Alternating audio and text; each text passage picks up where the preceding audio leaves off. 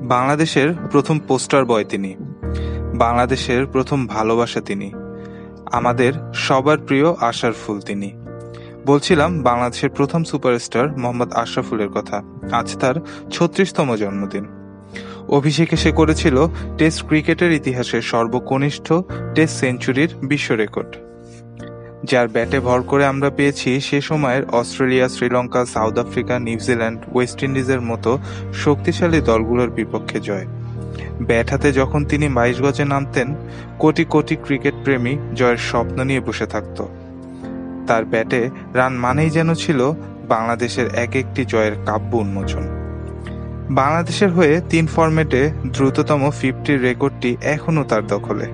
হয়তো তিনি এদেশের না হলে তার নামের পাশে থাকতো আরও অনেক অনেক রেকর্ড ছত্রিশ বছর বয়সে যেখানে অন্য দেশের ক্রিকেটাররা দাপটের সাথে খেলে যাচ্ছে, সেখানে আমাদের দেশে এই বয়সে খেলার স্বপ্ন দেখাটা বিলাসিতাই বটে।